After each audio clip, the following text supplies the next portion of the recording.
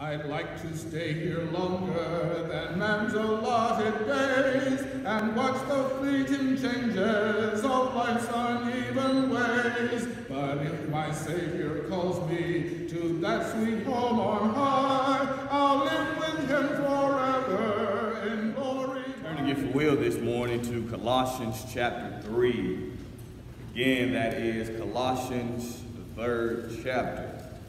Truly, we're thankful to the God of heaven for your being here this morning. Uh, if this is your first time being with us, we're just doubly honored and appreciative uh, for you to be with us in our worship assembly this morning. The book of Colossians is a very uh, unique book in its nature. And the reason for that is uh, the context of this book, we find two prominent doctrines going on during this time in their history. If you remember the book also, if you remember the book lets us know about this idea of uh, the Colossian heresy. Now, many like to speculate as to what the Colossian heresy was. But the Apostle Paul, what he does in this book is Paul basically just lets us know that it was in opposition to the doctrine of Christ. And we also read, secondly, about this idea of Gnosticism as well. If you remember, these Gnostics believed in their mind that they had this a secret knowledge, that they had this secret ability that the others around them were not afforded the opportunity to possess. But the thing about Gnosticism is, in its very doctrine, it goes against everything Christ stands for. Gnosticism or Gnostics refuse to believe that Jesus is the Son of God. Basically, what the Gnostics say is, especially when you look at all the religious uh, institutions today, that being the Muslims especially, they have this idea in their mind that Jesus is just one of many gods. He's not the Son of God. He's just one of the many gods, such as Dagon, such as uh, Epaphroditus, all the different gods we read about today. And so in Colossians chapter 2 and verse number 12, Paul there talks about being buried with him in baptism. So Paul here in Colossians chapter 3, he's setting the stage of what it is he want to talk about. And what we want to talk about this morning, this idea of putting on the new man. I love what Paul does in 2 Corinthians chapter 5, and we'll get to that later. In that particular chapter there, what Paul does here is he compares being reconciled to God as to putting on the new man. 2 Corinthians 5, verse 17, therefore, if any man be in Christ, he is a new creature, he is a new creation. And we'll certainly get to that towards the end of the sermon for this morning. So again, the Bible here lets us know in Colossians chapter 2 and verse number 12, Paul there again, he talks about this idea of being baptized. He talks about this idea of putting on the new man. He talks about this idea that he also mentioned in Romans chapter 6 verse 3 and 4 about being planted, being buried with him in baptism. In Colossians chapter 2 and verse number 9, I believe this is probably one of the most key verses in all of the text here. Paul says, In him, that being Jesus, dwelleth the fullness of the Godhead bodily. And so what Paul does here in this particular chapter, again, they have this idea in their mind. Jesus is just one of many gods. Jesus is really not the Son of God. Jesus is just a man just like you are, just like I am today. But Paul here says in that particular chapter, Colossians chapter 2, you have to beware of false doctrine. You have to beware of false teachings. Now, the next question should be, how do we know what false teaching is? Well, the Bible is going to tell us what the true doctrine of Christ is. And so by implication, if I know what the doctrine of Christ is, if I know what the Bible has to say in regards to my salvation, when I hear something and I know it goes against the word of God, I can rationalize that as what? Being false doctrine. But if I don't know the word of God, if I don't study the Word of God, if I don't cling to the Word of God, if I don't heed to the Word of God, then when false doctrine comes in, I have no idea what's going on.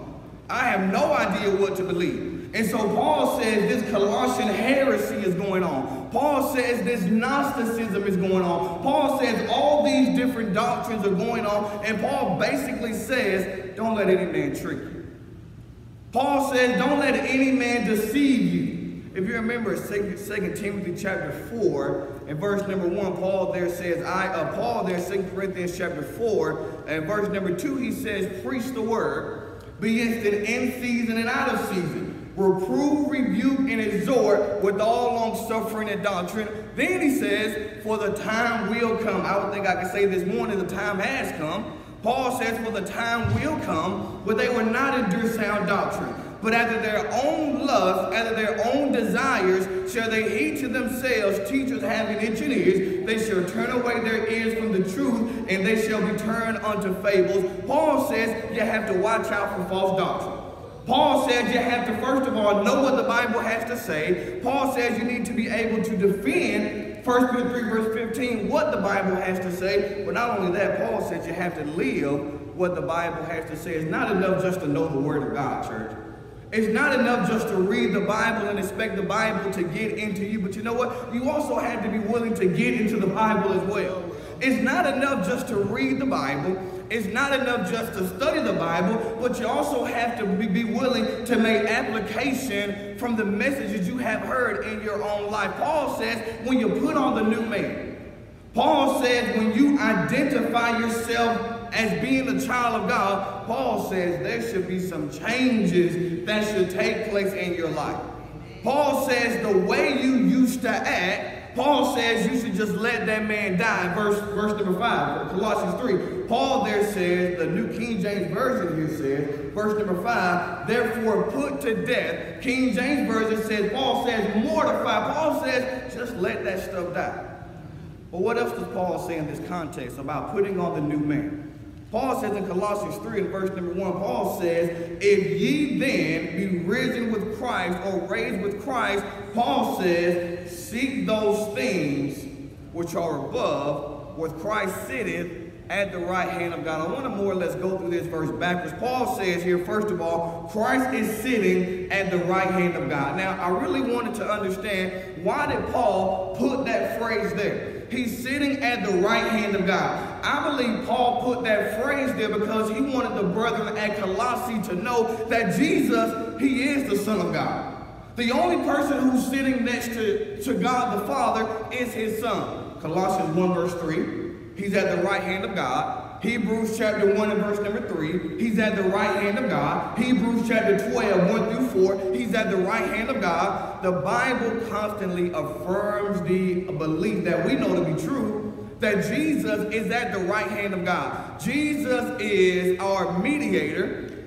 Hebrews 4 verse 15, 1 John 2, 1 and 2, and he is what? He is petitioning. He is our lawyer to the God the Father in heaven. Again, Paul says, if you be risen with Christ, seek those things which are above. Again, Paul here is, again, letting them know the importance of, because you have been baptized, he now gives you your aim. It would be one thing if we were converted and we have no idea what our mission was. More or less, we may speculate. More or less, we may say, you know what, God, you really didn't tell me what I had to do, what I had to do. But the Bible doesn't do that. Paul says, if you have been baptized, if you have been risen with Christ, seek those things which are above. Well, the Bible also lets us know in Matthew 6, verse 33, seek God's kingdom first. And all these things shall be added unto you. So in multiple sections of the New Testament, the writers here are saying the very same thing. You have to see Christ first. You have to look or you have to, as the Bible says here in Colossians 1 and verse number 3, Paul says, For you have died, and your life is hidden. The word hidden there in the original language carries the idea of being concealed. I'm being entrusted. I'm giving myself or I'm hiding myself in God's hand. Now, Paul here again talks about hiding ourselves in God molding our images after the likeness of God. Now again, if I'm not seeking those things which are above where Christ is, then the implication next is, what am I doing? I'm molding myself and I'm molding my life after the world.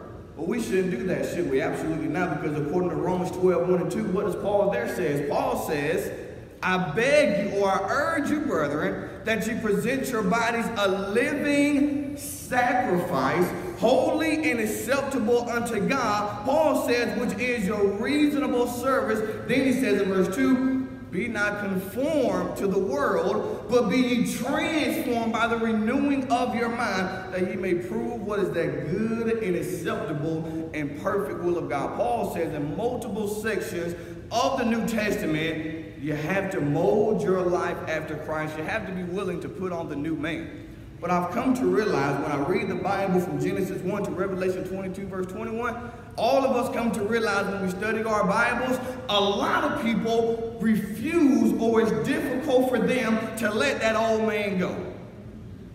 If you remember over in Exodus chapter 14, when God's people were going through the Red Sea, here you have water in front of them. Pharaoh's army is behind them. What are God's people going to do? What did Moses say? Moses said, well, let's stand still and let's wait on God. Exodus chapter 14, verse 15 and 16, God tells Moses, I don't know why you're waiting on me. I've already led you out here. All you have to do is go for it. So the Bible says here, the Red Sea opens up, and God's children, they just walk in on dry ground. And Paul lets us know in 1 Corinthians 10, 1 through 4, Paul lets us know how they were baptized under Moses, how they were baptized under the clouds, how they were baptized under the sea. And the Bible says as they get to Exodus chapter 15, what do they do? They are singing this praise. They're singing the song about Moses and the Lamb. They are just glorifying and they are just praising God. And so Moses says here, hey, because you all have been baptized, because you all have now went forward, Paul, uh, uh, uh, Moses says, there now should be some changed behavior. Well, we all know the Bible, don't we? In Exodus chapter 16, when God's people had just got done rejoicing and thanking and praising God, the Bible says in Exodus chapter 16, those first three verses, God's people began to murmur and complain against God. Well, you know what, Moses, you, you should have just left us in Egypt. You should have just left us with Moses. We, we, we could have died in Egypt versus coming out here to die. We, we knew exactly where our food was going to come from. We knew exactly where we were going to lay our heads. We knew exactly what Pharaoh was and was not going to allow us to do. The children of Israel had their daily schedule already planned out.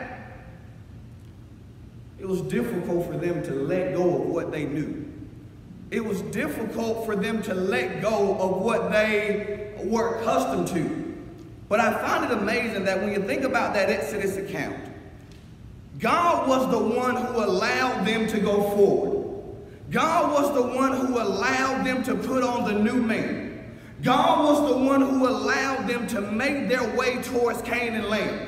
God was the one who gave them manna from heaven. God was the one who gave them water out of the rock. Do you catch that? God was the one who gave them all of that.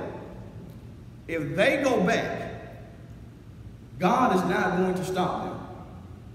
But if they go back, they are going without God. When you go back to that old man, when you go back to that man you should have buried a long time ago, you're not going with the help of God. You're going by yourself.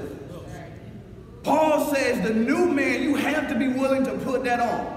Paul says the old man, you have to be willing to leave him where he is. Paul says again in verse chapter chapter 3 and verse number 1, if you be raised with Christ, seek those things which are above, where Christ sitteth at the right hand of God. Then he says here, set your affections, set your mind on things above, not on things of this world, not on things of the earth. If I set my mind and my affections on heaven, that really doesn't leave a lot of room for me to be worried about everything here on earth. Now, that's not in any way saying I should just walk around living reckless. God gave me common sense. God gave me a mind. I have to take care of myself. I have to keep myself safe. I have to keep you safe. God gave us a mind to do all those things. But he also said on top of that, you shouldn't allow the things of this world to arrest your faith. You shouldn't allow the things of this world to cause you to want to take off the new man. All of us, we work hard so we can buy new things. So we can buy new clothes, new cars, new homes. What if someone told you you have to go back where you came from? We wouldn't like that. Because we have worked hard to get to where we are. We have worked hard to drive that car or to live in that house. We worked hard for all those things. Paul basically says, what if someone came into your home and told you you have to give all this up and you have to go back to where you started from? Many of us will politely ask that person to get out. You got to get out my house. Well, Paul says here, when you try to go back to that old man, Paul says you have put in all this work. Paul says you have put in all this energy. Paul says you have put in all this effort to get to where you are. Paul says if you go back, Moses says if you go back, you're going by yourself. Many use the verse, God is the God of yesterday, today, forever. I appreciate that and I understand that, but you know what? God don't want us to go back. If you remember a couple weeks ago from Exodus chapter 14, Moses said, let's stand still and let's wait on God. Let's just, let's just see what God's going to do. God said, Moses, I've already told you what to do. I want you to go forward. I want you to put on the new man. I want you to let the old man die. I want you to let that Egypt mentality die. But some of us, we like Egypt. Some of us like that old man because you know what? It takes a lot of effort for me not to tell you how I feel when you make me mad. That old man don't mind telling you how he feels. That old man don't mind telling you what's on his mind. But the new man, the new Josh Cantrell, I'm not going to do that. Because Paul says I have to let the old man die. Paul says here in Colossians 3 and verse number 5, Paul says, therefore put to death. King James Version says, mortify, just let those things die. Then Paul here gives us some examples of what it is he want to talk about. Now, for the sake of time, we don't want to go through all those examples, but if you drop down here to verse number 12, Paul here talks about what we should be willing to put on. Paul says here in verse number 12, therefore, as the elect of God, holy and beloved. God wants his people to live a holy and a beloved life. If you remember in 1 Peter 1 verse 16, Peter says, Be ye holy, for I am holy. 1 Corinthians chapter 1, Paul called to be an apostle of Jesus Christ through the will of God, Sosthenes, our brother, unto the church of God, which is at Corinth, to them that are sanctified in Christ Jesus, called to be saints. God has sanctified us and God has called us to be saints. Ephesians 4, beginning with verse number 1. I, therefore, the prisoner of the Lord, beseech you that you walk worthy of the vocation wherewith ye are called, with all lowliness, meekness, long suffering, forbearing one another in love, endeavoring to keep the unity of the Spirit. Paul says in the bond of peace. Paul says here in verse number 12 again, therefore, as the elect of God, holy and beloved, Paul says, man, put on tender mercies. Yes. Paul says, put on kindness. If it's one thing all world needs more of today, man, it is kindness. Paul said, put on kindness. Paul said, put on humility. Paul said, put on meekness. Paul said, put on long suffering bearing with one another and forgiving one another if anyone has a complaint against another, even as Christ forgave you, so you also must do. Paul says the new man won't allow you to hold a grudge. Paul said the new man won't allow you to walk around and not speak to someone who has done you wrong. Paul says the new man won't allow you to think the same way you used to think. Paul says because you are that new man, Paul says everything you do has to be different. Now, I'm not saying in any way this morning am I saying this is an easy thing to do. I'm not in any way saying this morning once you are baptized, the temper you have is going to just go away. But what I am saying is you have to be willing to work on it. And most people, as the children of Israel, most folks are not willing to put in the work for God so he can work on them. Because when I put in the work with my Bible, if I not just allow the Bible to be preached to me or, or me reading the Bible, but when I begin making some application, what is that doing? It is shaping me into being that new man that the Bible just encourages for me to be. Because what happens when we put on the new man? When we put on the new man, the same stuff that used to get us upset just rolls off our shoulder now. The same words we used to say, we don't even think about those words anymore. The same temper we used to have, it may still be there, but you know what? It's not as bad as it used to be. And the point there is, every quality the Apostle Paul is giving us is an attribute of our Lord. Paul is telling us to put on everything that Jesus already is. Because when I put on my Lord, when I put on my Christian armor, when I try to mold my life after that of my Lord, I began looking like a brand new person. Lastly this morning, look at 2 Corinthians chapter 5 really quickly. Again, in 2 Corinthians chapter 5 here, Paul compares being a new man to being reconciled back to God. Now, we know in 2 Corinthians 5, verse 10, Paul says, Every man must appear before the judgment seat of Christ. He goes on to say here in 2 Corinthians 5 and verse number 16. 17, therefore, if any man be in Christ, he is a new creature. Verse 18 says, Now all things are of God, who hath reconciled us to himself through his Son, and has given us the ministry of reconciliation. That is, that God which is in Christ reconciling the world unto himself, not imputing their trespasses, and have committed us to the word of reconciliation. Putting on the new man, it reminds me of where I came from. It reminds me what God has done, and it reminds me of where I am going. I'm being reconciled back to God because of my sins. I'm being reconciled back to God because of the evil that I have done. If you remember the book of Romans, that's Paul's major thing, is God's righteousness man's justification. How can a man be found justified before the God of heaven? That is made possible by the righteousness of God. God, his attribute is righteous, absolutely, but that's not what we're talking about. Paul is talking about the way in which God brings a man into right standings with himself. How does God do that?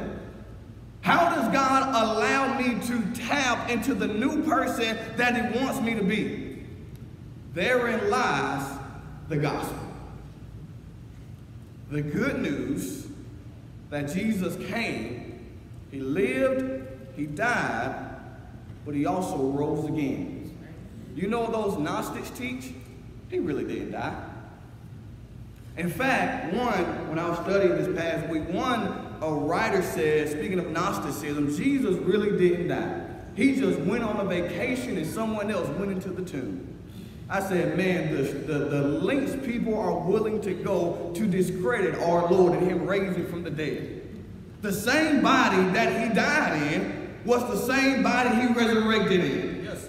The same body they put in the tomb was the same body that came out. The same body that had his nails and piercings all in him, the same body they put the crown of thorns on his head, is the same body he walked out.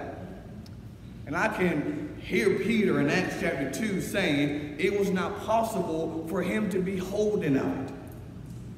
Jesus said, I'll be leaving now because I have all power in my hands.